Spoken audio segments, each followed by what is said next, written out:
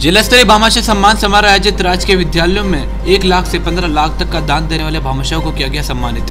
आज जिला स्तरीय भामाशाह सम्मान समारोह कार्यक्रम आयोजित किया गया, जिसमें राजकीय विद्यालयों में एक लाख से पंद्रह लाख तक का दान देने वाले भामाशाहों को सम्मानित किया गया। सम्मान समारोह का मकसद ये था कि उनके द्वारा किए गए दान से कई विद्यार्थियों को सहायता मिली है और ऐसे ही सहायता, मदद वे आगे भी करते रहें, ऐसे ही कामना को लेकर सम्मान समारोह का कार्यक्रम आयोजित किया गया।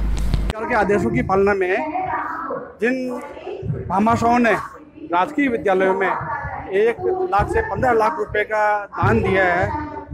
उन भामाशाहों का हम सम्मान कर रहे हैं ताकि अजमेर ज़िले में हमारे पास कुल चौदह भामाशाह अ, ऐसे सामने हैं जिनको हमने हम सम्मान कर रहे हैं और उन भामाशाहों में अ, को प्रेरित करने के लिए प्रेरक चार पाँच प्रेरक है।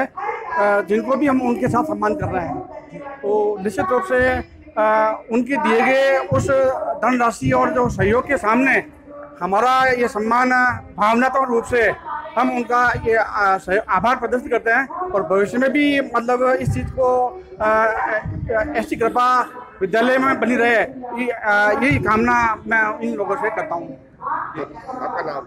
Rajendra Prasad Joshi DO elementary Ajmer.